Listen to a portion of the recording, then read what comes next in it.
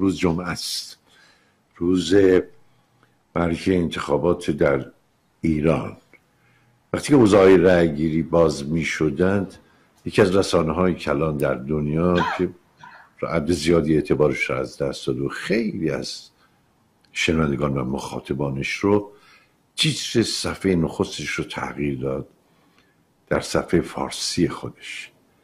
و گزارش داد که بر پایه آخرین نظرسنجی در ایران 42 درصد از مردم در انتخابات شرکت می کنند این چیز درست ساعاتی در صفحه این رسانه بود و بی بی سی و قطعا تازه ترین نظرسنجی ایسپا ایسپا چیه؟ ایسپا یک بنگاه نظرسنجی متعلق به جهاده و زیر مجموعه اطلاعات سپاه. و به سفارش اونها عمل می‌کنه. پنج هزار نونخور داره این سازمان بیخاصیت که کارش فقط ساختن نظرسنجی است. این میشه تیتر نخست یک رسانه ای که اغلب مدعی است بر پایه اصول حرفه‌ای عمل می‌کنه. بر پایه اما همه ما می‌دونیم همیانان بنگاه نظرسنجی معمولا نرخ خطا رو به خطا رو بین 3 تا 5 درصد می‌گیرن. هیچ بنگاه نظرسنجی در تاریخ هیچ رسانه ای اعلام نکرده که بر پایه نظرسنجی قطعا و حتما چنین اتفاقی رخ خواهد داد. من حافظه رو می‌ذارم کنار. اجازه بدید که برم به سراغ فرهنگ ها از جمله معین و ده خدا اونه که در دسترس داشتم. و ببینیم که وقتی میگیم قطعا یعنی چی؟ این یک رسانه میگه که میگه من به اصول حرفه‌ای پایبندم و وفادارم. در حالی که مشخص شد اصلا به اصول حرفه‌ای پایبند نیست. قطعا یعنی مطمئنن یعنی یقینا. یعنی بالقطع یعنی به راستی. یعنی به تحقیق. یعنی حتما. یعنی صد درصد. یعنی معکدن یعنی محققا یعنی هر آینه اینا معانی قطعا نیست که بی بی سی فارسی در آخرین لحظات. در دوره ای که مردم ایران دست کم همه ما می‌دونیم چطور به هم همبسته شدن سعی کرد که این همبستگی رو با استفاده از واژه و مفهوم قطعا در هم بشکن. هیچ معنای دیگه ای نداره. هیچ در هیچ بنگاه نظر تقریبا تمامی بنگاه نظر سنجی وقتی که افکار سنجی می‌کنن آراء رو اعلام می‌کنن زیرش توضیح میدن که ضریب خطا بین سه تا پنج درصد. همشون این کاری تنها بی بی سی برای نخستین بار اونم به نقل از ایسپا. یعنی بنگاه نظرسنجی جهات که زیر مجموعه اطلاعات سپاهه. بودجهش رو اونها میدن. سی درصد بودجهش رو جهات میده. بقیهش رو از نهادهای انقلابی مملکت تأمین می‌کنه. بر پایه سفارش اونها پنج هزار نون خور داره در سطح کشور. این میشه خبر نخست بی بی سی بریتان بی خودی نیست که یه رسانه این گونه سریع اعتبار و حیثیت خودش از دست میده. یکی این بود. یکی اظهار نظر آقای عبدالکریم آقای عبدالکریم سروش در چند صحنه تاریخ حضور پیدا کرده بعد قائب شده. هر بار هم که حضور پیدا کرده نمی‌دونم زیانی که به مملکت و سرمایه های مملکت زده اصلا حیرت انگیز بوده. یکیش در انقلاب فرهنگی است. همه ما با ظهور او در انقلاب فرهنگی و فرار استادان دستگیری اونها تصفیه دانشگاه همه آشنا هستیم و یک میراث یک میراث چرک که هنوز هم متاسفانه روی دست مردم ایران روی فرهنگ مملکت باقی بونده فرهنگ و تعلیم و تربیت و سیستم دانشگاهی این کشور. ایشون دوباره در صحنه ظاهر شده. هرچی فکر کردم که چطور شد آقای عبدالکریم سروش استاد دانشگاه فیلسوف اسلامی از ایشون به عنوان فیلسوف اسلامی یاد میشه. چطور یه باری در صحنه ظاهر میشه؟ اونم در دوره ای که ما هرگز شاهد چنین همبستگی در بین ایرانی ها در کشور و بیرون از کشور نبودیم. هرگز. فکر کردم چرا ایشون؟ با این با این یادداشت خودش که به نظرم یک نصر لوس بی معنا بی نمک کهنه از کار افتاده متعلق به دوره قبل از غزنوی. هیچ معنای دیگر نداره. چون یکی می‌خواد اصرار فضل بکنه. من معنای دیگری برای جستجو نکردم. فقط گوش کنید که ایشون چی میگه درباره انتخابات و حمایتش از یکی از کاندیداها. آقای عبدالکریم سروش. میگم که بر میر حسین روشن رگ درود. با الهام از کروبیان یعنی آقای کروبی صندوق های رأی را تنها و توهی نمی‌گذاری. یا تنها و تهی نمی‌گذاری. به رضایی رضایت نمیدن یعنی محسن رضایی. دلیلی در انتخاب جلیلی نمی‌بینیم. قاضی را به بازی نمی‌گیریم. قاضی هم منظور رئیسیه. ابراهیم رئیسی که رئیس دستگاه قضاست. مهر علیزاده را بر دل نمی نشانیم و زاغانی جمع زاغ کلاق و زاغانی چون زاکانی را از در میرانیم همتی را نصرت می‌کنیم نه نصرت می‌دهیم نصرت می‌کنیم تا ردای رئیسی بپوشد. یعنی رئیس جمهور بشه لباس رئیس جمهوری بر تن بکنه. و چشم خلایق به جمال عبدالناصر روشن شد.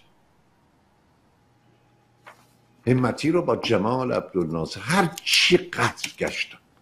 بلکه بتونم یک بچه تشابهی بین جمال عبدالناصر رهبر انقلاب مصر افسر جوانی که در یه دوره به قدرت رسید با ایران هم اصلا میانش خوب نبود. ولی خب شخصیت خیلی مختدری در خاور میانه بود. هواداران بسیار هم در کشورهای عرب پیدا هر چی فکر کردم بین او و همتی آخه چه تشابهی پیدا نکرد. تنها چیزی تنها صفتی که همتی داره این که وقتی میاد به بانک مرکزی ایران دلار بوده 8000 تومان 8500 تومان حدودا. وقتی میره دلار شده بوده 24 5000 تومان گشتم بینم آقای عبدالناصر هم وقتی اومده بر سر کار همین اتفاق افتاده یا نه سری اتفاق افتاده یه مورد دیگهش مورد تورم و میزان نقدینگی در مملکت ما. نگاه کنید در دوره که ایشون پست و تحویل می‌گیره وقتی میره چه به روز این اقتصاد آمده بوده؟ هر چه گشتم و چه تشابهی پیدا کنم پیدا نکردم. فقط برای اینکه بدونید که نسلم واقعا لوس و بینمک و نشانه تفاخر. و کسی تصور می‌کنه ما نوشتن به این گونه؟ اونم تو این روزگار و تو این دوره نسلی متعلق به دوره قبل قبل زمیان می‌تونه در اینجا تأثیر گذار بشه روی نسل جوان. ولی من هر چی گشتم متوجه نه دلیلی پیدا نکردم جز اینکه سروش می‌خواد از مردم ایران انتقام بگیره. فقط هم. حرفای سروش رو گوش کنید. وقتی اومده به انقلاب فر... در ایران انقلاب شده و او در رأس انقلاب فرهنگی قرار گرفت.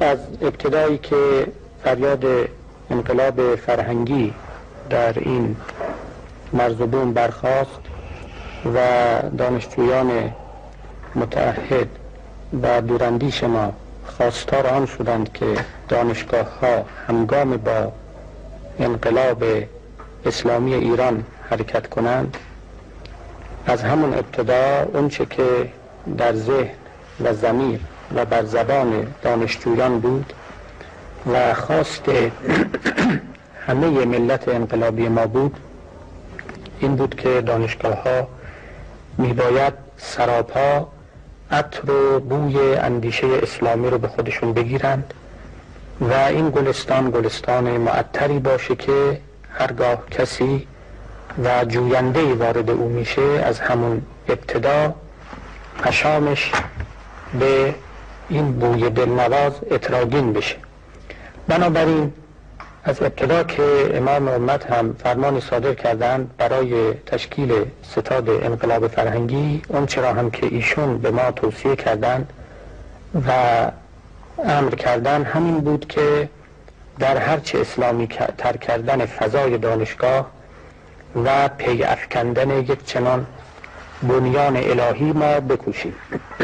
در حقیقت به یک معنا تمام اقداماتی که ستاد انقلاب فرهنگی کرده و می‌کنه همش رو می‌توان در داخل همین چارچوب قرار داد و محکوم همین حکم اصلی و عمومی دانست.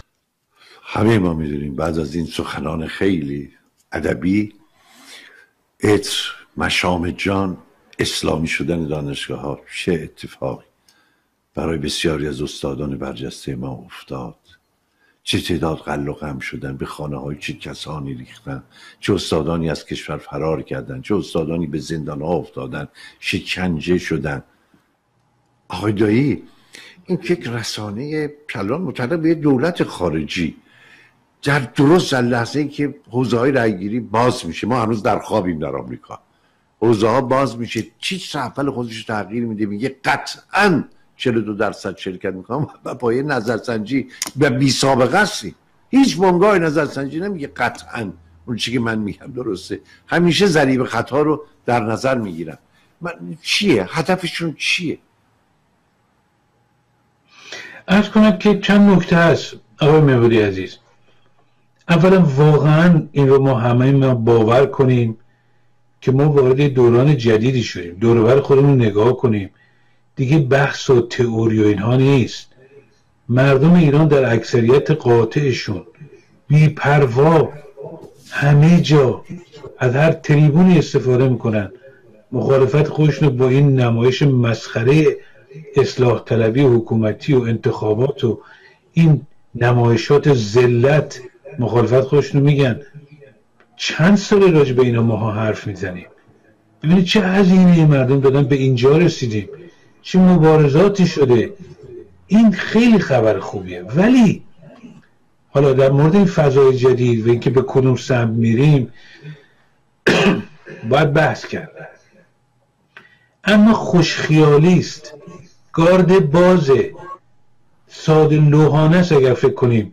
که چون بختک اصلاح طلبی بعد از 24 سال از فضای سیاسی ایران شرش کم شده این حباب توهم اصلاح طلبی در نظام ولایت فقیه و این که میشه از صندوق رأی به اصطلاح نجات پیدا کرد این حبابش ترکیده ما از دست مماشاتچیان و این نسلی که اینا پرورش دادن به نام اصلاح طلب یه لشکر از دست اینها به زودی خلاص میشه نه خیر. خیلی هاشون هم با این شرایط جدید همراه می‌کنن خودشونو. حتی انتخابات رو تحریم می‌کنن. تا در فضای جدید بتونن به شکل دیگری نقش بازی کنن. آخه ما وقتی وارد دوران جدید شدیم الزامات جدید داره. فقط این نیست که همراهی بکنن که. یکی از شور... یکی از مسائلش همینه. قبل از که به این نظرسنجی قلابی نگاه کنم که به خصوص یکی. نظرسنجی دانشجویان اینا که تو خارج دیدم یکی از همین نایاکیام همین رو پخش می‌کرد. اینا که آمریکایی که خارج باشن خبر ندارن. لابد فکر یکی از یه سری از دانشجویان منتقد حکومت و مبارزین دانشجویان در ایران جمع شدن یه مؤسسه تشکیل اینا رو میگن نه هم که شما اشاره کردید این مؤسسات حکومتی نهاد امنیتی نظامن. اینا رو تولید می‌کنن بر خارج و اینها هم بیپروا پخش می‌کنن اما قبلش اجازه بدید از خود همین آقای سروش شروع کنم.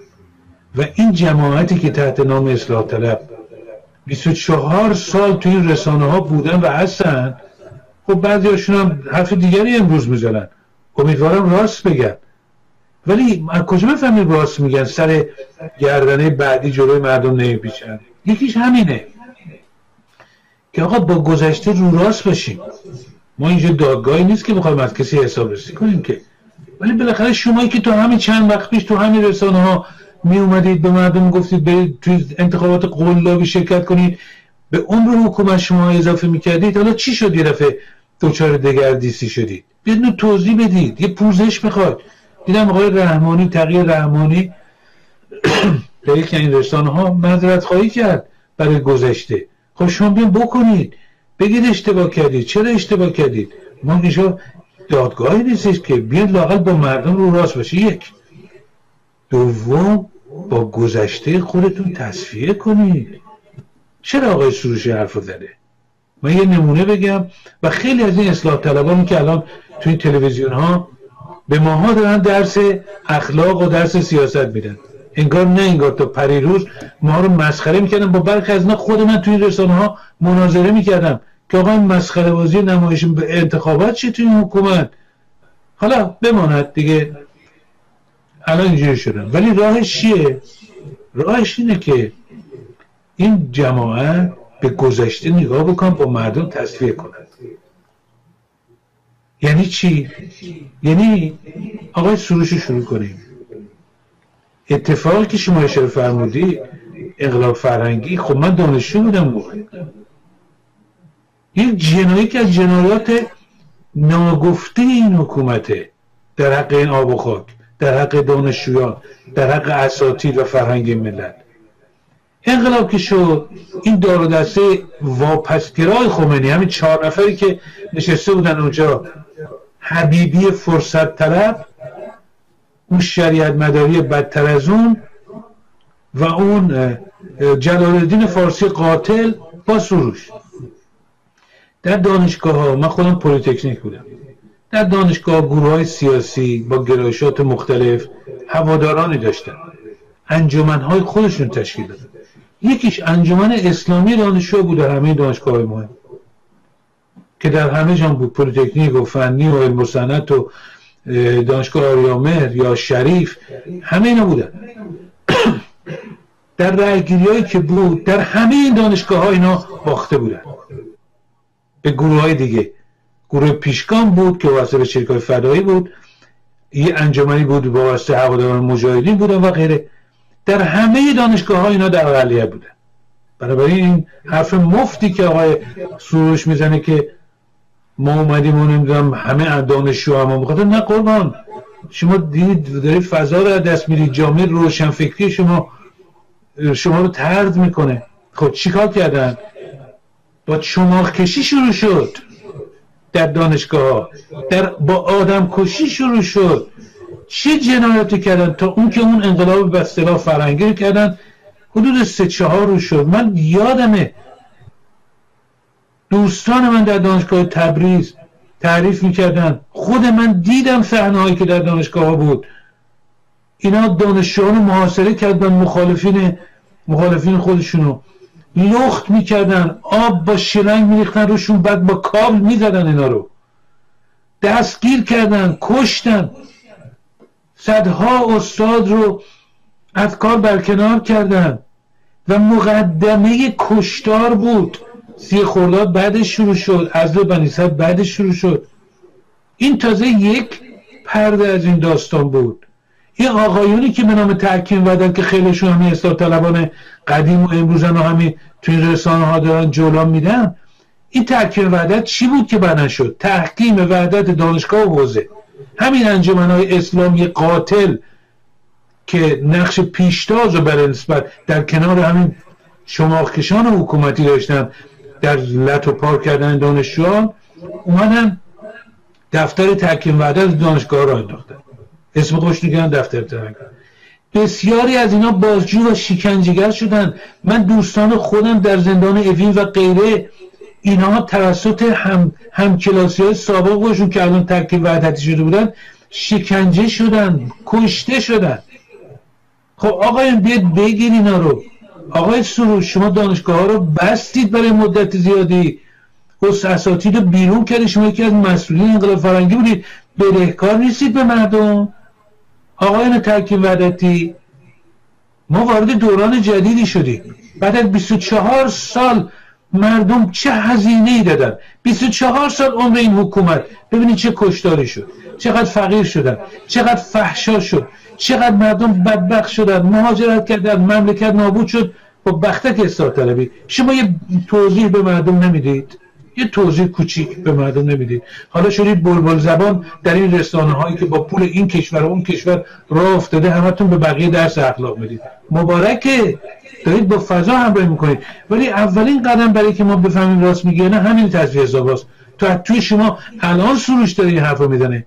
بقیه شما رو من تردید ندارم. پس فردا دوباره کوچکتری گوشه چشم خامنه ای نشون بده شما میپایید واسه. برای چی میاد میده 42 درصد تو مردم شرکت می‌کنن. اون یکی رو اینترنشنال زده 32 درصد شرکت می‌کنن 10 درصد هم مرددن. یعنی 42 درصد. یعنی شما تصور بکنید فضای کنونی رو ببینید.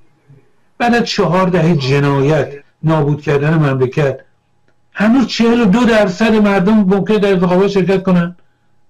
این نزدیک به نیمی آخه کدوم عقل سالمی میپذیره؟ این کارا چیه می‌کنید باور کنید آقای میبودی عزیز من شما مردم عبور کردن برای که بها دادن مردم. بابا دو تا قیام سراسری داشتیم ما. این حکومت به مردمی که کاری بهش نداشتن رفت هواپیماشون رو زد ساقط که کش تیکه تیکشون کرد. خب مردم عبور کردن از اینا. ولی اینها ولکن معامله اینها فکر در فضای جدید همه گربه شد عابد و زاهد و مسلمان و خیر. منافع مماشات چه سر جایشونه. و اینجا ما باید خیلی هوشیار باشیم. نمی‌خواستم واقعا امروز شروع کنم. برای اینکه به نظر من ما دوران تاریخی هستیم. واقعا برای من به این معنی نیست که می‌بینیم همه مردم دارن ضد حکومت صحبت می‌کنن. خب این خوبه ولی پیام آور دوران جدیدیه. خیلی ما حرکت داریم می‌کنیم یه تحول جدیه ولی خب از این طرفش هم اینها هم داریم می‌بینیم. همین نایاک لابیا مگه ولکن معامله هستن اینا؟ خب اینا اینه دیگه متاسفانه. اینه اصلا برای چی باید بی سی اینترنشنال اینا طرفدارانش؟ خب بعد میگن ما می‌خوام دو طرف باشه. ولی چقدر آخه؟ مگه اینا اینا ما یه چند درصدن؟ مگه این اصلاح طلبان قلابی چند درصد جامعه که شما به اینا اینقدر بها می‌دید؟ اصلا چه نیازی بها بدید خب اینا که جای دیگه تریبون دارن. برصد اینه که ضمن اینکه به فال نگاه باید گرفت واقعا یک تحول بسیار بسیار مهمه. و اول راهی ما وارد فضای جدید شدیم. باید به همه تبریک گفت. خیلی از بسیار راه ها گشوده خواهد شد در برابر ما. ولی هیچ وقت گارد خودمون رو باز نگذاریم. ما تجربه داریم. آدما فرصت طلبن. اینها نمی‌خوان. یکی از مسائلی که آقای نبوداری شما سوال فرمودید قبل برنامه چرا سروش اینا میگن؟ یه مقدار خب نفرتیه که هم مخالفین حکومت دارن یا عشق به حکومت دارن. واقعش من اعتقاد دارم که اگه این حکومت سقوط بکنه خیلی هم مسائل روشن خواهد شد. همین انقلاب فرهنگی کارهایی که کردن. خب اینا چیز ساده ای کنید بابا شما اومدید تمام دانشگاه های مملکت یکی دو سال بستید. هزاران استاد رو شما تصفیه کردید. یعنی بخش علمی مملکت رو توهی کردید. یک عده فاشیست بی سواد رو تو این دانشگاه ها بهشون سهمیه دادید. به من دانشجو به من استاد. این کم جنایتی. حالا به اون قسمت کشت و کشتارهای پشت پردش بماند. اینا واقعا میترسن. اینا حتی اونایشون یه سریشون که همراهی می‌کنن در اولین فرصت تلاش خواهند کرد برگردونن به مسیرهایی که می‌خوان. به مردم وعده های بیهوده بدن نمی‌دونم این حرف این حرفا. ولی ما گاردمون رو باز نکنیم. ما الان فضا دست ماهاست مخالفین این حکومت. با امید به آینده باید نگاه کنیم راه های جدید رو پیدا کنیم مشکلاتی که هست. ولی گاردمون رو هیچ وقت نباید باز بذاریم. تشکر می‌کنم. آقای دایی آقای ناجرات که کمتر از کسانی نبوده که در در محاکمات جنگ دوم جهانی محکوم شدن واقعا در همون قصه و عجیبه که اینا امروز در آمریکا زندگی می‌کنن. این سوقاتی اونها بود از انگلیس برای مردم ایران چون اولین کسی که میره به دیدار آقای سروش در انگلستان وقتیشون دانشجو بوده. نمیم خوندید خاطرات قف... قفاری است. قفاری از این لات های لات هایی که لباس روحانیت برتن داشت آمد و ولی آن هادی قف میشناختمشن این آقای اولین کسی که میره به دیداره. آقای عبدالکریم سروش وقتیشون دانشجو بوده در انگلستان همین آقای قف آیت الله قفاری است این یک. آقای من اگر جای بچه های بی بی سی بودم بچه که هنوز به اصول روزنامه نگاری با چیان اعتقاد دارن به حفظ امانت واقعا به پاره از اصول. و ما به اونا احترام می‌گذاریم. محاکمه می‌کردن. کسانی رو که میان در لحظات حساس چیز رو انتخاب می‌کنن و بعد از, از یه صفت استفاده می‌کنن که مضموم این کار در روزنامه نگاری مثلا روزنامه نگاری منحصر به فرد انگلیس ها که معتقدن اصلا صفات نباید بگار خبر رو همونطور که هست. این استفاده از واژه قطعا خیلی جالب.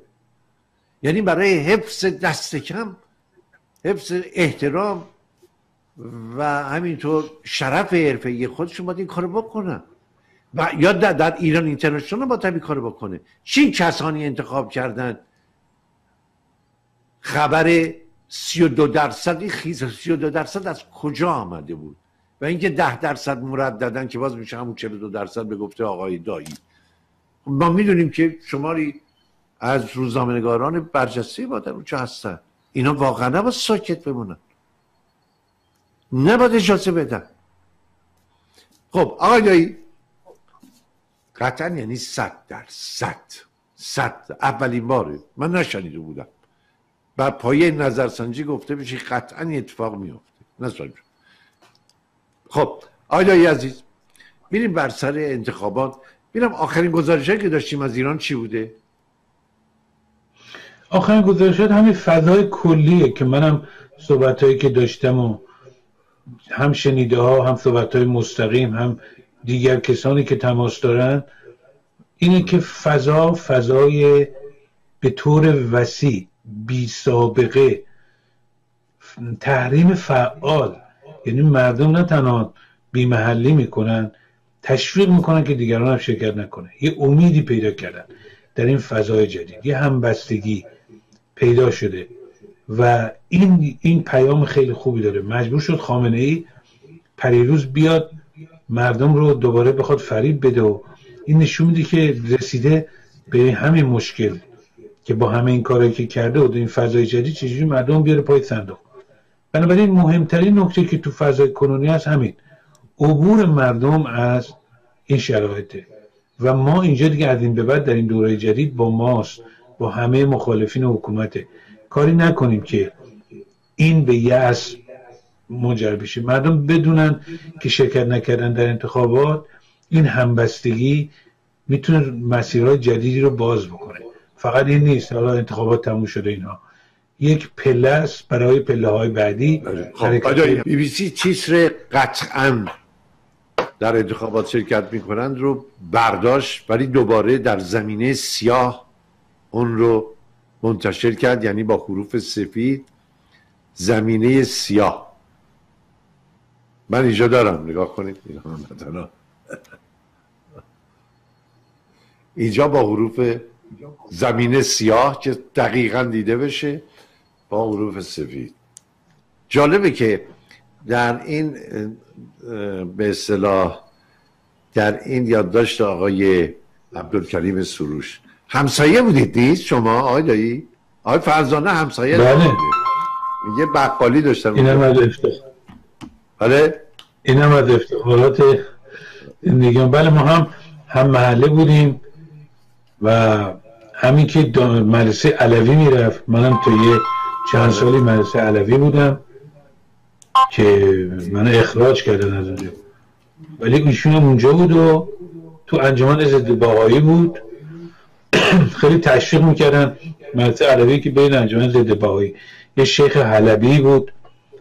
یه مش مرتجه توی مدرسه علوی. دور دور هم جمع شده بودن انجمن ضد باهایی واقعا لغت مرتجم برای زیادی واپسگرا دیگه ببینید وقتی یه حکومتی واقعش اینه که آدم به کی بره بگه؟ که یه آخوند درجه دو سه مثل خامنه‌ای بشه رهبرش شما ببینید این حکومت دیگه تو این حکومت فیلسوفشون هم کی باید بشه؟ اینه دیگه. دیگه تو اینا همینه.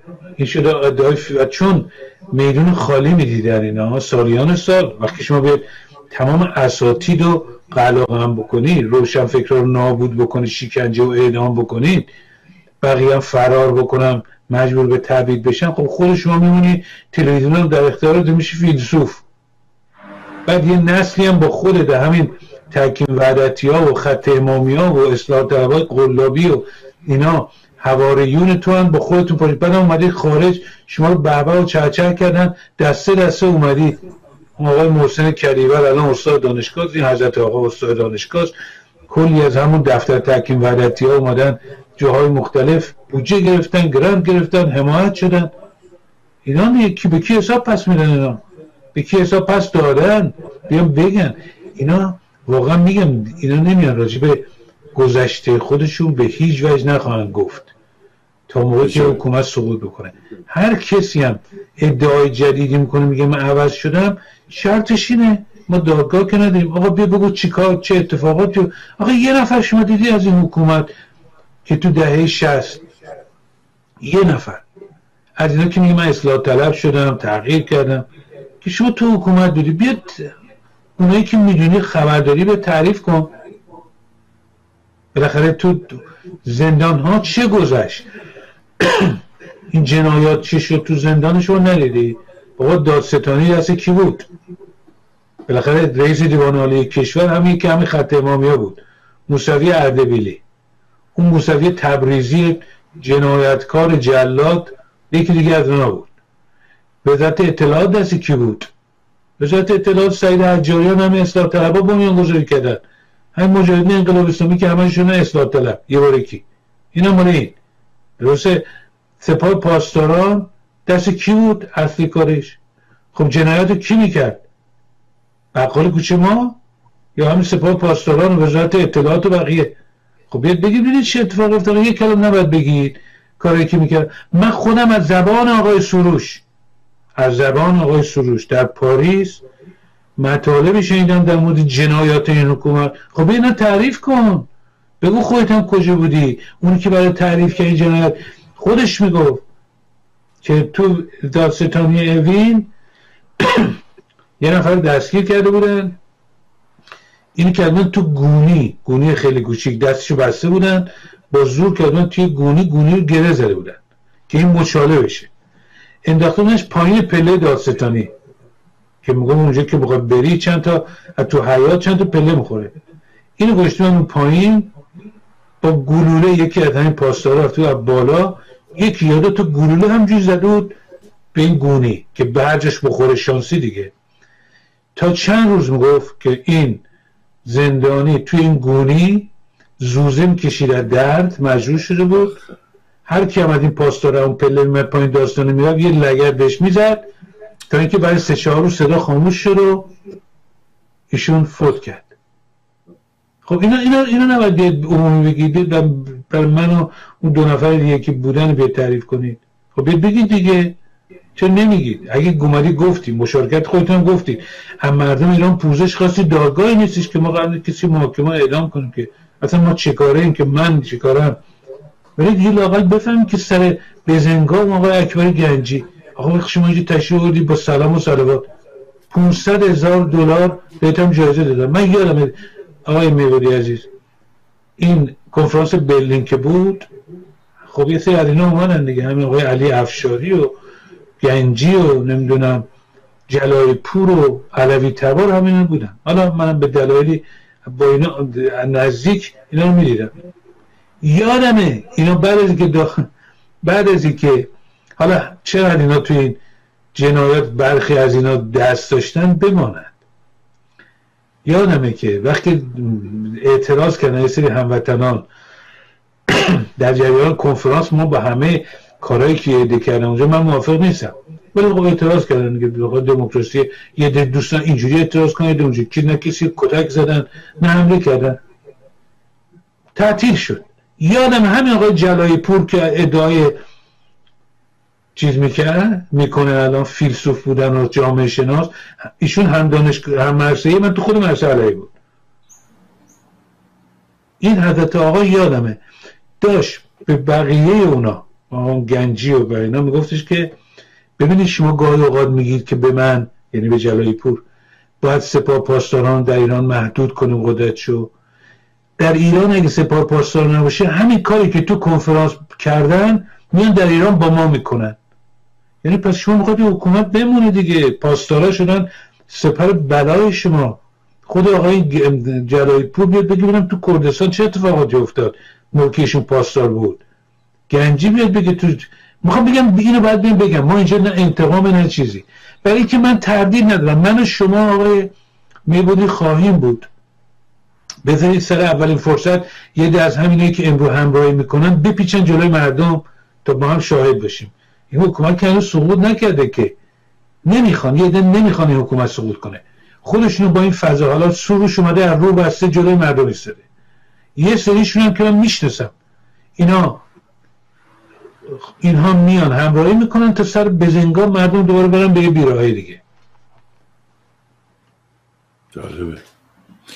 الان به اجازه یه نکته دیگه هم آقای میبوده راجب نظرسنجی قلابی که همین دانشجو. اصلا اینجا رسمشه تو دنیا. مؤسسات معتبر نظرسنجی. اولا شما می‌رسیم به قول اینا دیسکلیمر توضیح بده که بیننده و خواننده و همه متوجه بشن. اولا شما وقتی می‌ذارید نظرسنجی دانشجویان اینا دانشجوی تو کار نیست. این یکی. اول روشن بکنید اینا کیان. این اولین وظیفه شماست که نمی‌کنید. یک. دوم آقا ما در کشورهای دیکتاتوری نظرسنجی نداریم نظرسنجی مستقل تو ایران نداریم. یه دکون این دانشگاه مریلند الان در 15 سال باز کردی که با هم چندین بار من گزارش تهیه کردم با هم دیدیم. اینا یه مؤسسه هم درست کردن ایران پل. آقای فرمانش. اینا میان میگن ما رفتیم تو ایران هم چی فکر کنم خوش مثلا مثلا مؤسسات غربی. با 1232 نفر صحبت کردیم. با این این حرفای مدار مزخرف.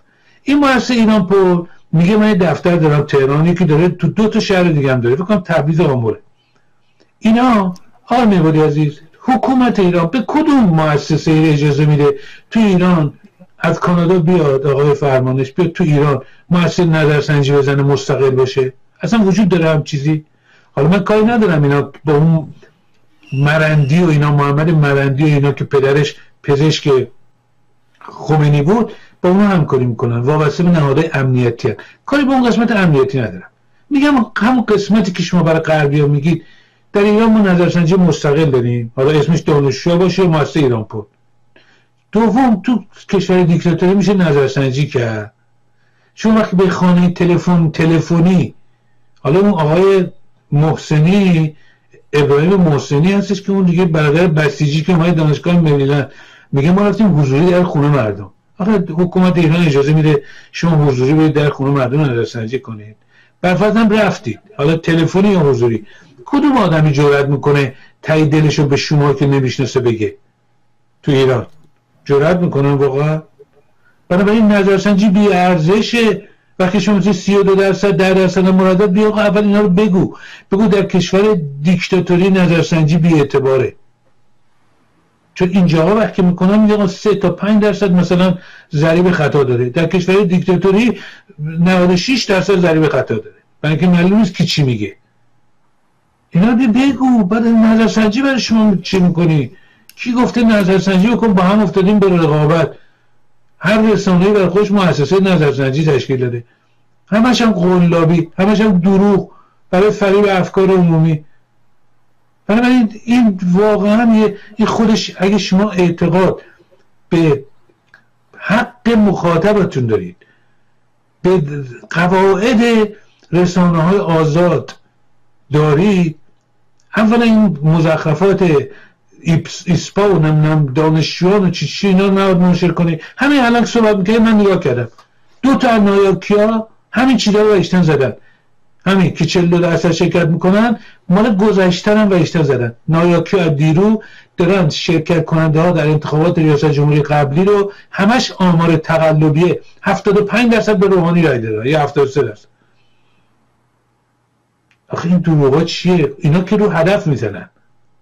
هدف رو هدف می‌زنن. منفعت دارن با منفعت دارن. دروغ فایده داره.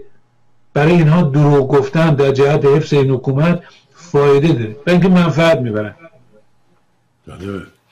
آیه دایی این نحوه عرضه افکار و اندیشه هم به نظر میشه خیلی مهمه. ببین این مدی که آقای سروش داده که به نظرم می‌خواد به شکلی نمود بکنه که خود آقای سروش همیشه هم اصرار داشته که من تافته جدا بافته است نصر من کلام من اصلا متفاوت با مرتوم این روزگار و این زمانه. حالا بگذاریم. ولی جالبه این نصر معماگونه و این اظهار نظر.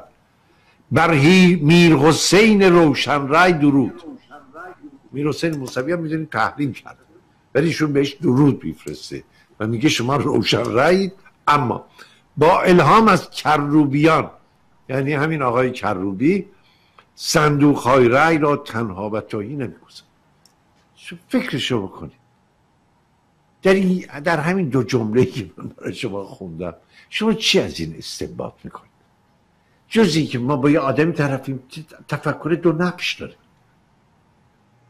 هم برای آقای میر حسین موسوی تو درود میفرسته از اون طرف تایید می‌کنه میگه شما روشن رأی. هم بر کروبی. تهشم وقتی فکر می‌کنید آخه برای چی؟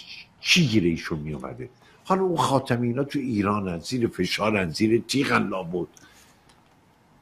ولی به این سراحت هم انتخابات تایید نکردن همه با اگر مگر. با توضیح واضحات. همه می‌دونیم در اونجا چه خبره. شما که بیرون از ایرانید آخه با چه هدفی؟ جز اینکه دلت می‌خواسته در این آخرین باز هم از مردم انتقام بگیری. آیدایی ارز کنم که دو تا نکته هست یکی کمی فرصت طلبی.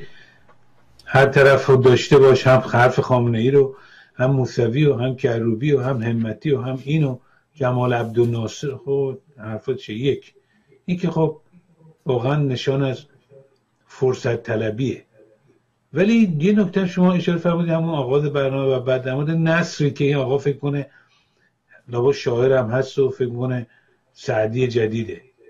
خب این توهمات دیگه. وقتی به نفره بگی فیلسوف من یادم من دبیرستان که بودیم خیلی ادبیات من خیلی خوب بود اون موقع. حالا در این چهل سال متاسفانه بدتر شد به که بهبود پیدا کنه. یکی از بدی های دوری از وطن هم همینه. ولی اون موقع ادبیاتم خوب بود. ولی خیلی به خودم مغرور شده بودم. یادم با یکی از همکلاسیامون تای کلاس با هم سر کلاس ادبیاتم بود. با هم مسابقه گوشیم که هر کدوم دو خط شعر بگیم. هی من عوض می‌خوام زور زدم و تلاش کردم. بعد یک ساعت خلاصه دو خطی گفتم اونم دو خط گفت. دویدیم جلو تا کلاس تموم شد. بنا به اون دکتر دکتری بود که یادم رفته اسمشو آقای قریب بود فکر کنم. ایشون معلم ما بود خیلی آدم فریخته بود. گفتیم آقا شما لطفا بین ما قضاوت کن کدوم شعرها بهتره؟ گفت من دیدم شما تپ پیچ پیش می‌کنید و اینا. همین بود. وقت خودتون ببینم. نگاه کرد و یه نگاه به شعر کرد یه نگاه به من کرد. گفت تمام چیزی که در مورد تو فکر می‌کردم غلط در اومد. این چیه؟ این شعره؟ بند خودش جر داد انداخت آشغال حالا این حضرت آقا واقعا حضرت پیش گفتم فیلسوف و نصر قشنگه. فکر کرده خیلی نصر قشنگه. همین توهم وقتی بود وقتی که توهم رانتی یعنی اینا به رانت آقا شده فیلسوف یه سری چیزها رو به هم بافته. از این آخوند و آخوند گرفته واریه گرفته متحری و تبا تبایی و کیو کیو پاپوپر و نم چیزی قاطی کردن و یه چیزایی در بردن واقعا آدم نگاه می‌کنه چه کتوله هایی. چه کتوله هایی درست میفهم آقای دایی؟ خب وقتی ادهی میگن که ما هنوز مثلا وقتی با زبان فردوسی صحبت می‌کنیم آدم نگران میشه. بنابراین تغییر تحولات در ایران انقدر زیاد نبوده که به بر زبان ما اثرگذار بشه زبان ما متحول بشه. هنوز هم ما زبان سعدی رو میفهم زبان فردوسی رو کاملا درسته. تفاوت خیلی کم اندکه. شاید به این علت که هنوز ما اونجا که دلمون می‌خواسته نمیرس نرسیدیم. ولی در این دوران جدید خب بسیاری از نویسندگان و متفکران ما تلاش کردند که این ادبیات ایران رو به هر شکلی هست رسا کنند امروزی بکنن به هر حال همه فهم بکنن. وقتی یه نفر اینقدر اصرار داره که نسل دوره قزنوی رو کماکان در این دوره و این روزگار حفظ کنه مفهوم اینه که ایشون یه سنتی راست هم تفکر هم اندیشه هم مکتبش هم ایدولوژیش همه چیزایی است که یه جوی در یک گوشه در یک دوره از تاریخ فریز شده منجمد شده مونده. مونده. مقاله من از آقای آقای عبدالکریم سروش خوندم در اول انقلاب. در باب بیماری و بهداشت از این قبیل بود. که این خداونده که بیماری رو میده. این خداونده که بیماری رو می‌گیره از آدم. یعنی بیماری مرض و سلامتی انسان هر دو دست خداست. یعنی اینکه پزشک و دارو و بیمارستان و درمان اینا همش کشکی اگر در تقدیر شما باشه آن گونه که خدا خواسته. چون سالم میشه سالم میشه نیازی نیست دیگه هرگز این مقاله چاپ نشد. من حیرت کردم. این مقاله از آقای سروش خوندم. دایی جان من نمی‌دونستم که آقای سروش حجتیه بوده علیه باهایی ها و جالبه فکر کنید یه آدمی که علیه هموطنان باهایی ما اقدام می‌کرده فکر کنید چه, چه بلایی بر سر چه خانواده هایی آوردن اینا اینقدر نجیب و شریفن که اغلب به سختی حتی اون لحظه های تلخ زندگیشون رو در جامعه ایران بازگو می‌کنن. کمتر بازگو کنن یا گله و شکایت بکنن. ولی جالب همون آدم در ایالات متحده هم زیر سایه دموکراسی داره زندگی می‌کنه درس می‌کنه حقوق بگیره و مسئول مونده. از هر تعرض حقوقی و قانونی مسئول مونده. آی دایی؟ خب بله در قبل از انقلاب اجازه فعالیت داشت انجمن ضد بهایی یه شیخی بود که حتما می‌شناسید محمود حلبی که تو مسجد جامع میره اونجا سخنرانی یک شیخ مرتجه خب این آزادی فعالیت داشتن اینا. درسته تو قتل و کشتار بهایی ها اصلا در دانشگاه اجازه نمی‌دادن این تعرضات بشه. بالاخره در زمان رضا شاه که به بهایی ها هیچ کاری نداشتن. واقعا یه دورانی بود که چه یهودیانی که در زمان قاجار به خصوص آخراش تحت فشار بودن و بعد هم بهایا اینها فضای خیلی مناسبی بود برشون در دوران رضاشاه خیلی هم رشد کردن. لاقل سرکوب سیستماتیک فشار دولتی به هیچ وجه نبود و خیلی فضا برایشون باز بود.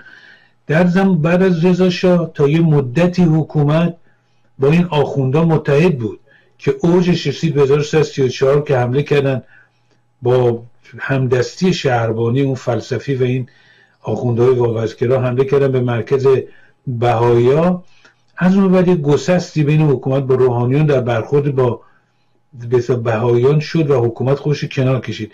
ولی انجمن ضد بهایی آزاد بود و عده از دو حکومت اشتباه فکر می‌کردن که حالا مثلا جوانان بشه که برن تو کار سیاسی برن تو این کارا. ولی همین چیزای ضد بهایی بود که فضا رو باز کرد برای بعد از انقلاب که بیاد حکومت خمینی بزنه تار و مار کنه اینا رو. این فضا از کجا اومد؟ توجیهش از کجا اومد؟ خود ما با ما که سیاسی بودیم واقعا باور نمی‌کردیم. من یکی از دوستانم وقتی از زندان آزاد شد تو دهه مخوف شست ما یادم اولین سوالی که کرد باش صحبت می‌کردیم اینا راجع به این زندانیان بهایی صحبت می‌کردم. به من گفت باورت نمیشه ولی اینها رو میوردن تو اوین و دیگر زندان ها گاهی خانوادگی اینا رو دستگیر کرده بودن. با چمدونای لباس مثل این اردوگاه نازی میگو اینا رو می آوردن و می‌گفت لاجوردی کینه عمیقی از اینا داشت. اینقدر اینا رو اذیت کردن اینا رو اینقدر ازشون کشتن سرکوب کردن. خب از کجا این کینه زاده شده بود؟ از همین انجمن ضد باهایی همین حرفای مزخرفی که شیخ حلبی و دیگران می‌گفتن که در اون زمان آزاد بود. و این هم یکی نقاط ضعفی بود که متاسفانه واپسگرایی قبل از انقلاب یه جاهایی دستش باز بود راه مقابله نمودن. انجام ضد بهایی این کارهایی که می‌کردن می‌رفتن شبا میشستن تمرین مباحثه می‌کردن. یکی هم مراکزش نمای مرسه علوی بود. آقای علامه بر صورت حالا کار خوب و بد کرد.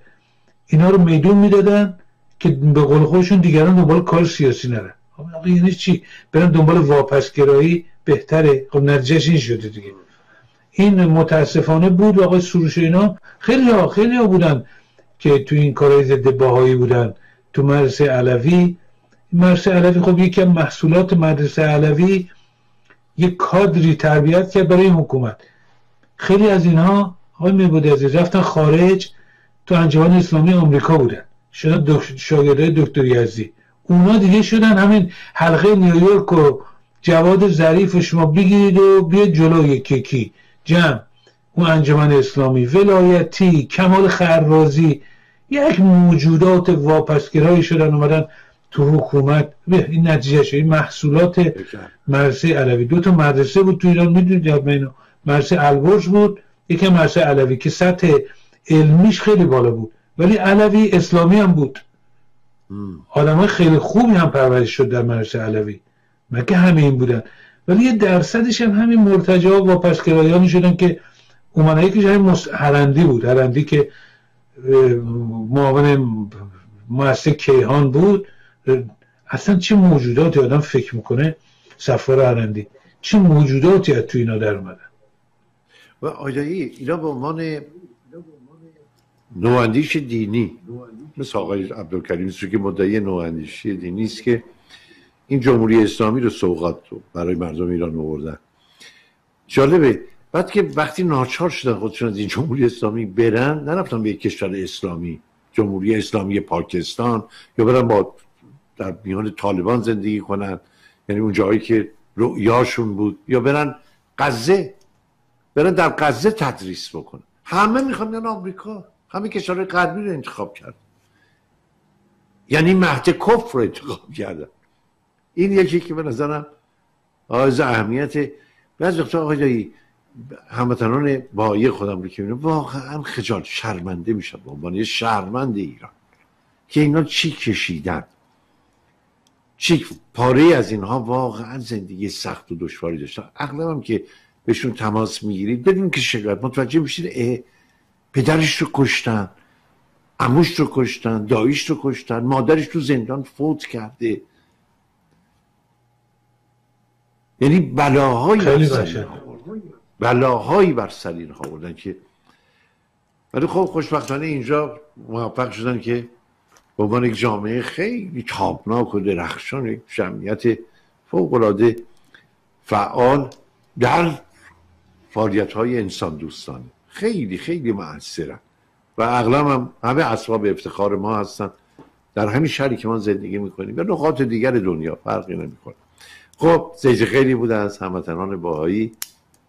امیدوارم که دست کم تو که آقای دایی گفتن اینایی که مرتکب چنین اعمالی شدن برای برای عبرت آیندگان. بیان بگن در نهایت شجاعت و سراحت بگن که چه کردن. و اگر پشیمانن بگن پشیمونن. اونایی که گفتن ما پشیمونیم خیلی حرمت و اعتبار پیدا کردن. نزد مردم و نزد جامعه. خب آقای دایی چند دقیقه فرصت داریم؟ می‌خوام ببینم که آخرین خبری که گرفتی چی بود از ایران؟ همین فضاست همین فضا نگاه کردم مجددا اخباری که هست همینه. اینو باید به فال نگرفتیم دو چند روزه. حالا هفته های بعدم صحبت می‌کنیم. خامنه و سپاس سه تا دغدغه یا هدف یا مسئله داشتن. یکی اینکه رئیسی رو بکن رئیس جمهور. حالا در مورد پیامدهاش و اینا هفته بعد صحبت کنیم یکی اینو بکن رئیس جمهور. دومی که هیچ تنش اجتماعی ایجاد نشه. یکی از دلایلی که کاندیداها رو یه سری حذف کردن مثل لاریجانی اینا نمی‌خواستن برای لاریجانی رقیب بشه که بعد مجبورشن تقلب کنن بعد ممکن تنش بکشه به اجتماع. چون همین الان که حذفشون کردن ببینید چه خبره. چه چیزایی لای هم دیگه میگن. بنابراین فضای اجتماعی رو کنترل کنن سانسور کنن نیروهای امنیتی در اینجا حضور دارن که قیام شکل نگیره. این دوتا بنابراین یکی رئیسی دوتا این مسئله سومی که الان بهش رسیدن که برای خامنه ای در درجه اهمیت اول اول نبود. چون مهم این بود که رئیسی بشه رئیس جمهور قیام هم شکل نگیره توی این مدت. مثلا سوم حضور مردم.